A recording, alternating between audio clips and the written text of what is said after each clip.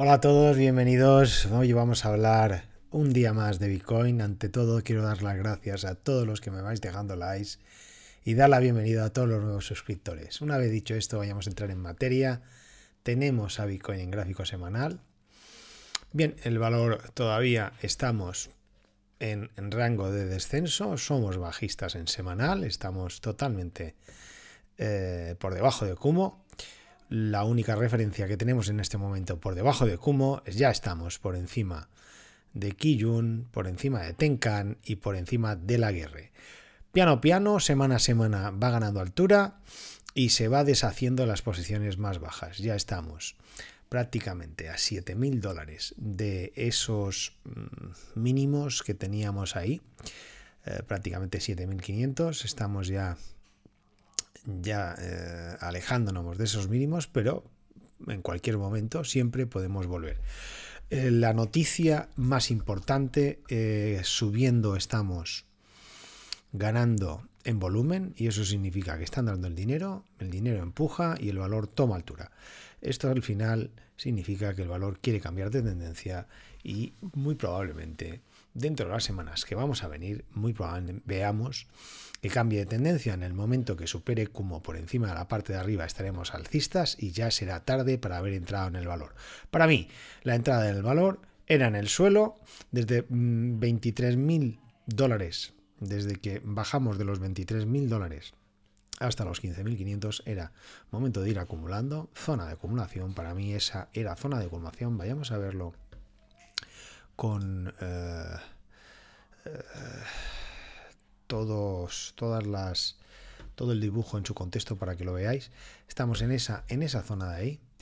En esa zona de ahí. Vamos a verlo en logarítmico. Sí. Bueno, en esa zona de ahí, ¿eh? que, que, emprendíamos después del all time high en 65.000 y los 69.000, estábamos en ese escenario y estábamos haciendo ese suelo, que para mí ese era el suelo. Podemos ajustar un poco más y el suelo eh, de los 18.000 a los 15.500 era fantástico haber entrado en esa zona de ahí y a partir de ahí se ve clarísimo que el valor quiere superar todas las resistencias que tiene por la parte de arriba, que ya no es para mí una trampa alcista, ni mucho menos, porque está entrando el dinero eh, y se ve claramente que el valor toma altura sin ningún inconveniente, no está, no está tomando altura prácticamente sin volumen. Si subiese sin volumen, diríamos que efectivamente el valor se caerá con facilidad. Para mí no se caerá con facilidad porque no está saliendo el dinero, salvo que haya una excepción, una noticia que no esperemos y pudiera ser que lo empuje. Pero difícil porque las ventas no están, no están aflorando. Lo que aflora es la entrada de dinero y está entrando en Bitcoin. Bien, eh, una vez dicho esto, ya vemos cómo estamos. Estamos positivos, aunque en semanal seguimos totalmente bajistas. Podemos verlo también en mensual. Seguimos todavía ahí en mensual. En esa gráfica que tenemos ahí. Nos quedan 8 días, 8 días y 6 horas a cierra esa vela y ya para mí esa vela no cerrará en rojo. Quedando 8 días, Veo muy difícil que esa vela termine en rojo. Estamos ahí en esa pared, en ese muro que de Kumo, de la nube de Kumo. El valor cuando ha tocado, a principio de mes tocó la barrera de Kumo, rebotó para, para arriba como un cohete y sigue en esa zona. Si cierra cerca de esos precios que tenemos hoy a final de mes y enero, perdonar, y febrero emprendemos por la parte de arriba de Kumo, muy probablemente seguirá empujándolo para arriba. Bien, perdonad, vamos a proseguir con... Disculpar, eh, vamos a proseguir con el diario. El diario hemos subido como un cohete, una subida formidable, fantástica, fantástica. Nos ha arrancado caras de felicidad a todos los que hemos entrado en la parte baja y a los que hemos entrado fuerte en la parte baja, más cara de felicidad, estáis de enhorabuena y ha emprendido ese escenario alcista. Deberíamos haber recortado, el valor ha hecho ahí un mini engaño para la gente siguiese comprando aquí, pero debería recortar porque está haciendo una divergencia alcista y ahora os lo enseñaré.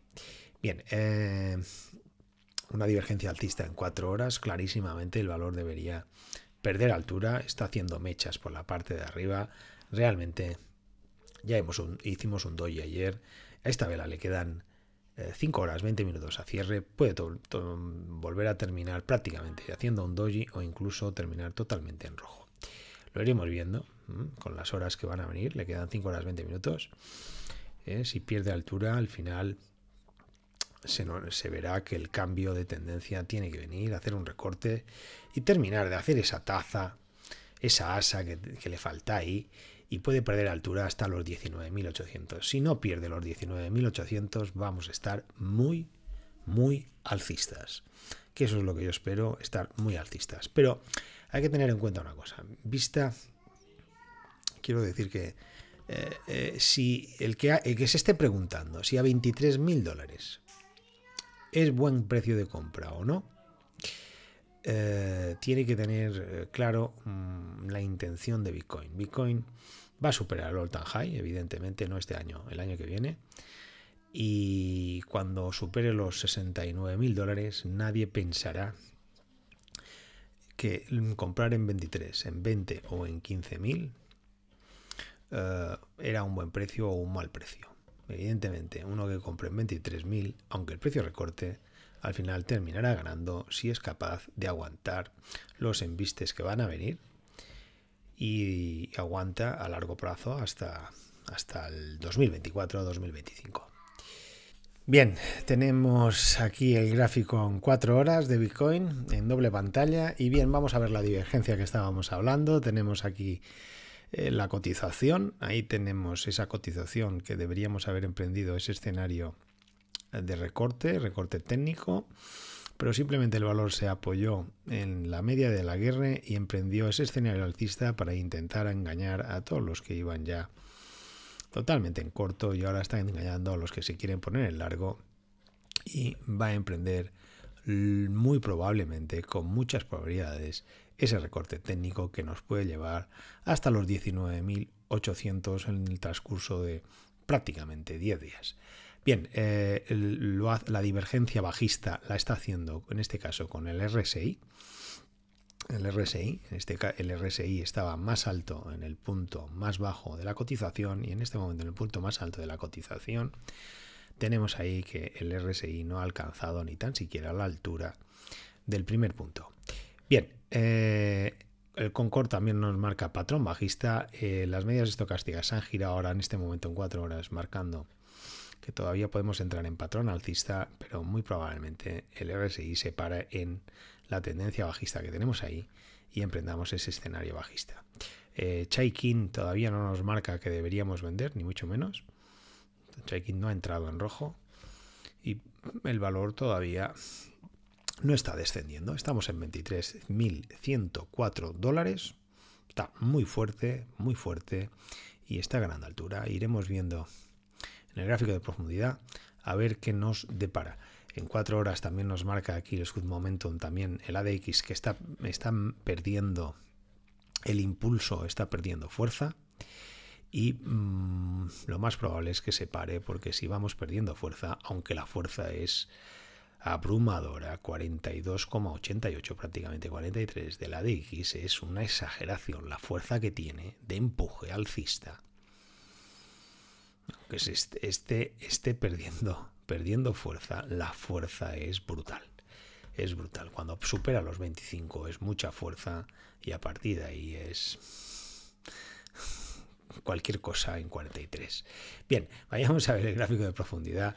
El gráfico de profundidad están apareciendo ya posiciones de venta por la parte de arriba. Es cierto que son insignificantes, pero están apareciendo y eso es lo más importante, intentando parar el empuje altista que está apareciendo en este momento.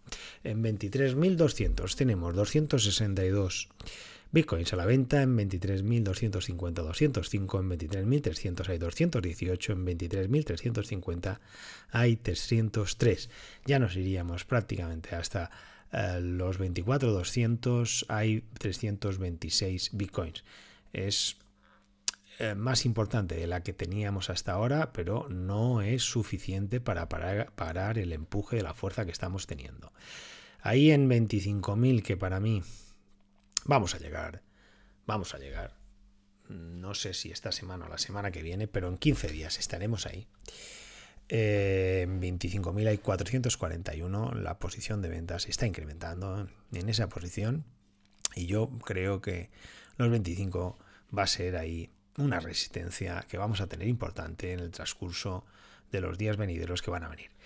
La llegaremos a traspasar, evidentemente, no sé si en primera instancia o en segunda, pero mm, no sé si la primera vez que lo tocará o la segunda vez, pero que la traspasaremos con toda seguridad. Dentro de 15 días estaremos por encima de ese, de ese, de ese precio de los 25 mil dólares. Veremos Veremos si será antes de los 15 días o después de los 15 días. Lo iremos viendo. Son 15 días, yo a lo sumo le calculo. Es difícil saber si lo superaremos antes o después, pero más o menos. El mes que viene, en febrero, estaremos, estaremos por ahí o por encima de, de, de esa cifra. Por eso digo que comprar 25 en 20 o en 15.500 cuando el valor esté por encima de los 100.000 no tendrá ninguna importancia, ninguna importancia. Bien, em, cada uno tiene que hacer lo que considera oportuno con su dinero, pero pienso yo eh, que en la inversión, si uno va a largo plazo, 5.000 dólares arriba, 5.000 dólares abajo, al final es insignificante cuando estamos hablando de cifras de más de 100.000 dólares. Bien, por la parte de abajo, posiciones de compra. Las posiciones de compra eh, tenemos una muy muy, cerca del precio, pero prácticamente muy diluida, en 243 bitcoins a la compra, en 23.050. Ya nos bajaríamos hasta 22.500, hay 213, que no pararía si el, si el si en este caso, si las ventas empujan para abajo, en 22.300, 210 no es, no es importante. En 22.000 estaríamos en 195 y ahí en 21.600 dólares habría 1.100 bitcoins a la compra. Eh, esa posición la van, bueno, se nos ha movido ahora, esa posición la van moviendo, se ve clarísimamente que es una institución o una ballena que ha puesto ahí 1100 a la compra y la mueve a medida que ve que el valor eh, se va moviendo y se coloca en, el precio de recorte donde considera que va a entrar, porque esa es una posición que quiere entrar al mejor precio posible. 1100 bitcoins. Ahí los tiene, puestos. Podíamos caer, ahí tenemos el precio hasta donde podíamos caer, que de hecho se está incrementado muy poquito. En 19.800 hay 257 bitcoins. En los días que van a venir veremos cómo esa posición se incrementará, porque yo creo que hasta a los 19.800 hay caída. Creo que es el 38% de Fibonacci. Y podemos caernos hasta ahí y a partir de ahí en rebotar y ganar altura. Si nos cayésemos más abajo, pues este impulso alcista que hemos tenido realmente no sería de la importancia que yo pienso que puede ser.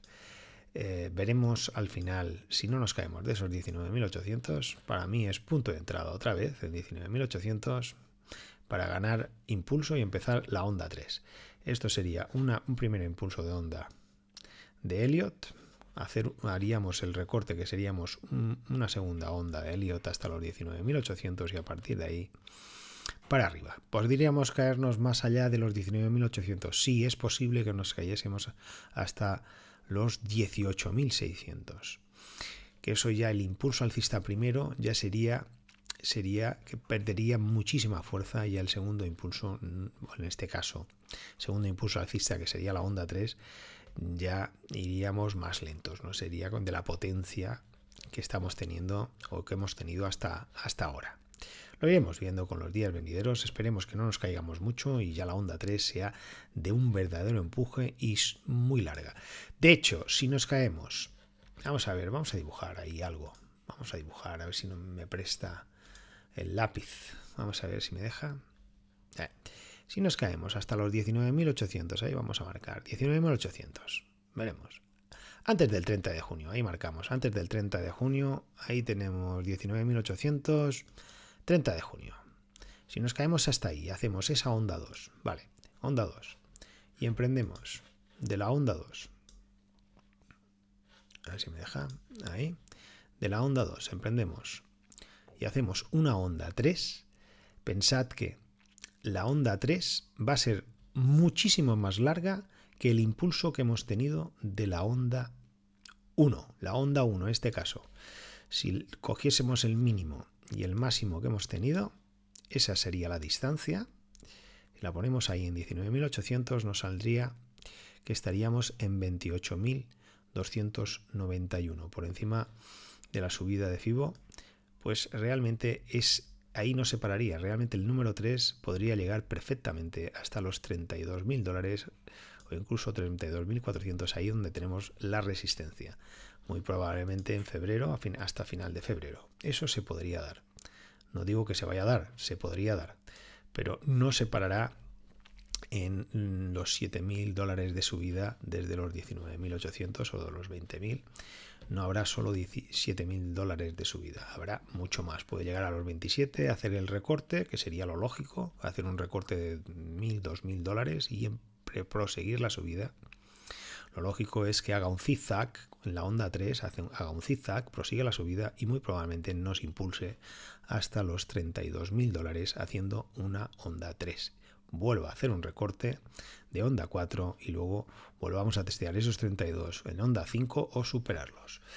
Lo iremos viendo a medida que vayan transcurriendo, los meses, pero esta es una hipótesis muy probable, muy factible, muy factible por el impulso que ha tomado en este impulso primero que hemos tenido de onda 1 si emprendemos y hacemos esa onda de Elliot.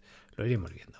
Pero realmente si no, no baja de los 19.800, que parece que no tiene ganas, está muy fuerte, ¿eh? muy fuerte. Si no bajamos de ahí, esa, ese impulso segundo nos va a conducir hasta esos 32.500 con bastante, bastante probabilidad. Podemos llegar hasta ahí. Siempre y cuando no nos bajemos de esos 19.800. Si empezamos a caernos, testeamos aquí, ya ese impulso ya no será tan grande. Y si bajamos de aquí, podemos emprender un escenario realmente bajista. Que esa probabilidad todavía existe, ¿eh? No, no, no, mm, hay que ser sensatos, no, no ha desaparecido después de este primer impulso. En el si cuando emprendamos este segundo, este segundo impulso, ya esa probabilidad desaparecerá en el momento que veamos que realmente se para. Bien, vayamos a ver las posiciones que tenemos por la parte de abajo, ya que estamos ahí, que lo estaba, nos lo estaban enseñando perfectamente. En 12.000 se va diluyendo poquito, siguen habiendo 5.000 bitcoins a la compra, había 5.200, luego 5.100 y hoy restan solo 5.000 bitcoins a la compra en 12.000 que creen todavía que van, vamos a llegar ahí y están puestos. Pero de hecho ya hay alguno que ya ha quitado, ha quitado posiciones y las habrá puesto más arriba. De hecho, prácticamente las posiciones de más arriba se han diluido en 17.000, 16.000, 15.000, se están diluyendo. Y la posición más importante que tenemos en compra es esa, 21.600 de 1.100 bitcoins, que realmente está móvil todo el momento, la, han ido moviendo, ya llevan, llevan desde, principio de enero moviendo esa posición y quieren entrar al mejor precio posible, pero quieren entrar, por eso la han movido arriba, abajo, la van moviendo y quieren aprovechar ese recorte que va a haber con toda probabilidad y esa posición al final terminará entrando.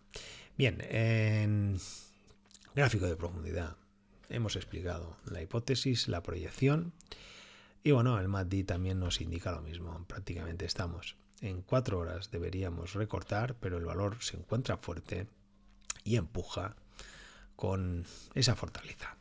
Bien, noticias que tenemos en en marcha, de momento tenemos en circulación 19.270.434 bitcoins y el número de holders que tenemos son 43.683.807 holders o direcciones o wallets o personas que tienen sus bitcoins en esas wallets. Vamos a seguir con la cartera de vainas. Venga, la cartera de vainas. Tenemos la cartera de vainas que ha incrementado hasta los 41.252.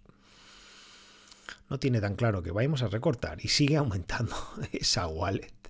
Es cierto que ha ido, ha ido fluctuando en su posición durante esta última semana y el fin de semana de bajar y comprar, pero está ahí en 41.252. Ha incrementado esa posición. Bueno, una cosa interesante que tenemos ahí, una noticia que llama la atención y ahora volveremos aquí a esta página. Esa es la noticia. Pequeños ahorristas de Bitcoin controlan más del 20% del suministro. Los denominados cangrejos y camarones de Bitcoin con menos de 10 Bitcoins han seguido acumulando y acaparan más de 4 millones de Bitcoins. Bueno, ellos llaman camarones a los que tienen menos de Bitcoin. De hecho, en este momento, entre 1 y 10 Bitcoins, el que tiene más de un Bitcoin y menos de 10, entre 1 y 10, hay 824.337 holders o direcciones que tienen esa posición. Y bueno, los que tienen menos de uno, eso serían cangrejos o camarones, lo que ya os queréis llamar, hay 3.229.352 personas, holders o wallets que tienen menos de un Bitcoin. Entre esos dos, entre esos dos acumulan 3 millones de bitcoins, más los que tienen menos, pues todos esos acumulan esos 4 millones, que es la noticia que nos está ahí diciendo. Todos esos tienen 4 millones de bitcoin, recordemos que hay 21 millones, hay 2 o 3 millones de, totalmente perdidos o desaparecidos en wallets que se han perdido las semillas y las, las llaves y luego ordenadores que se tiraron en su día. Bien, eh, esa es la noticia, ¿eh? es interesante saber en qué nos movemos. Bueno, también nos enseña ahí la gráfica, ¿no?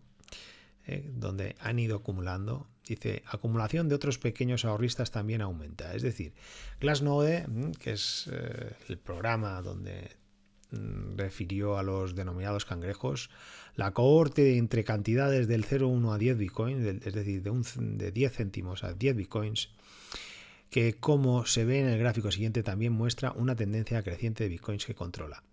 esos 4 millones prácticamente están divididos entre ellos. Bueno, son 3 millones en esa zona, hay 3 millones evidentemente. Y bueno, han incrementado esas posiciones. Dice, esas cohortes han incrementado sus bitcoins a más de 4 millones con 200.000 200 de bitcoin. Eh, representa el 20% del suministro de bitcoin, evidentemente. Es interesante, esa gente ha entrado y representa el 20%. Vitalik Buterin, Vitalik Buterin, divulga el mayor reto pendiente que tiene Ethereum. Bueno, simplemente es el enfoque que él le da al concepto de direcciones ocultas. Ese es el reto, ¿no? Ocultar según qué transacciones ¿eh? y ese es el reto. Veremos al final qué harán. Yo creo que no, no lo van a hacer. Noticias de la semana, mineros y traders en números verdes con Bitcoin en 23.000 dólares. Lleva ahí fin de semana aguantando como un campeón por encima de los 23.000 dólares. Pensad que venimos de los 16.472 y el 80% del mercado de holders, bueno, de holders, mm, de youtubers, tiktokers, todos decían que nos íbamos por debajo de los 15.500, 14.000, 12.000, 10.000 y alguno entre 9.000 y 8.000. Y algún iluminado que decía que en 800 dólares lo volveríamos a ver. Bueno, de momento cada día que transcurre estamos más lejos de esas cifras y aguantamos muy bien en 23.000 y se están transaccionando muchísimos bitcoins. No hemos dicho las transacciones de hoy. Vamos a verlo. Estamos en un volumen decadente, como podéis comprobar prácticamente. Deberíamos perder altura. El precio del activo debería emprender ese escenario bajista, ese, ese, ese, ese, mm, esa bajada técnica que tenemos que hacer y en este momento hoy estamos negociando 234.000 bitcoins. Cifras muy importantes, realmente muy importantes. Veremos al final si emprendemos ese escenario o no. Lo iremos viendo con el día a día. Igual ni, ni tan siquiera baja de los 21.000 dólares y emprende ese escenario alcista, hace un recorte mínimo y emprendemos a volar hasta los 32.000 dólares. Todos son probabilidades y también cabe esa. Eh, proseguimos con las noticias que tenemos ahí. Hemos dicho de los 23.000. Datos de los derivados de Bitcoin muestran margen para que el precio suba más esta semana. Bueno, es probable que suba más, ¿no? Sugieren que el precio de Bitcoin todavía tiene tramo, incluso con preocupaciones económicas más amplias en aumento y la probabilidad de una breve pausa en el repunte del mercado de criptomonedas. Bueno, dice alcanzó su máximo en 23.100 eh, y el movimiento siguió a una notable recuperación de los mercados tradicionales. Bueno, esto es lo que nos propone, que puede, bueno, que todavía hay tramo, hasta los 25.000, de hecho hay tramo, 25.000 separará el valor si no recorta, evidentemente, y a partir de ahí veremos si luego recorta hasta los 20.000 o no. Bueno, aquí los fiscales de Estados Unidos incautan 700 millones en activos a Sam Backman Fried de FTX. Es increíble. Este tío dijo que terminó eh, sin un dólar y al final parece ser que tiene ahí no sé cuántos dólares escondidos que le acaban de encontrar y los que no le han encontrado. Bueno, el CEO de Bitpanda advirtió que aún existen empresas dudosas en el sector cripto e hizo un llamamiento a las inversiones para que estuvieran alerta, evidentemente. Los bitcoins hay que tenerlos en una wallet y los tokens también en una wallet donde tú eres el propietario, tú eres tu, tu propio banco y puedes hacer lo que quieras con tus monedas. Bien, esa es la noticia, es interesante mm, y nos lo ponen a colación encima de la mesa, ¿no? Y bueno, la última que tenemos, Bitcoin superó la barrera de los 23.000 dólares y Solana subió, casi el 20% desde este 21 de enero.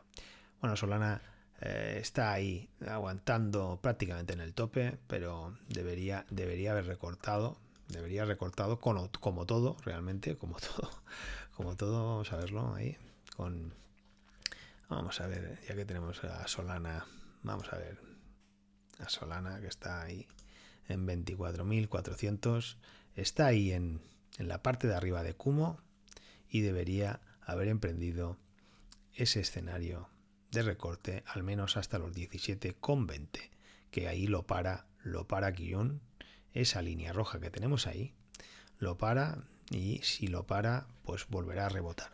Debe recortar, veremos al final si la fuerza del dinero sigue empujándolo, que yo creo que no. Bueno, y una cartera que hace mucho tiempo que no hablábamos es la cartera de Vitalik Buterin. Tiene 14.528.000 dólares.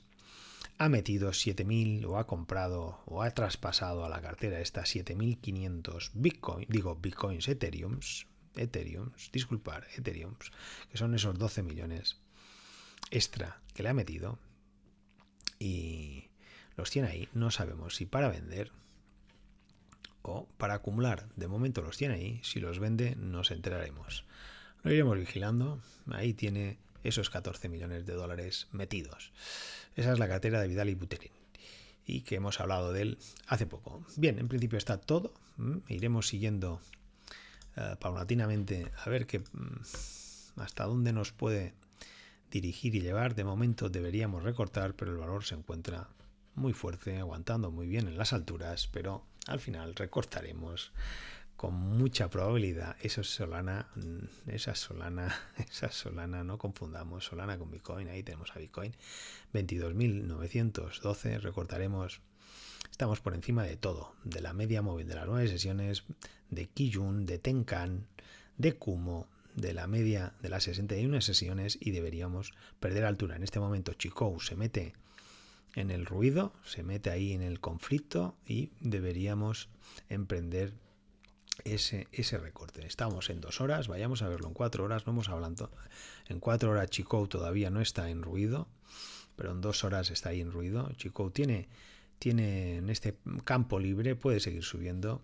Os recuerdo que la última vez que hablamos de esa línea verde que era Chico, estábamos ahí, ahí, con la resistencia de la media móvil, luego tuvo como y cuando emprendió ese escenario alcista que salió de ahí, cuando tomó oxígeno, Chico, vamos a subir y emprendió ese escenario alcista que estamos. Mientras Chico tenga espacio limpio, vamos a seguir subiendo, evidentemente, vamos a seguir subiendo. En el momento que se ensucie ese espacio, que se meta en la parte de abajo, vamos a tener complicaciones porque el valor al final terminará perdiendo altura, pues no subirá, no subirá con, con facilidad cuando Chico se mete en ese problema que se ha metido muchas veces y lo hemos tenido prácticamente en un año y medio con problemas por la parte sucia y, el precio pues al final no termina no terminaba de ganar con solvencia altura y termina, terminaba perdiendo.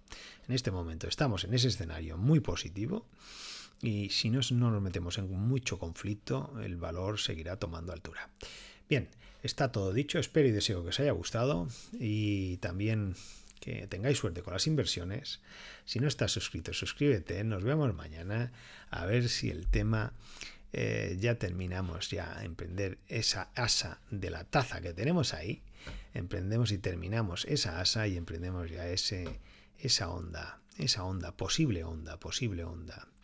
3 eh, y ganamos altura con facilidad y ya dejamos atrás esa tendencia bajista, ese cripto inverno que hemos tenido hasta la fecha. Venga, suerte y al toro.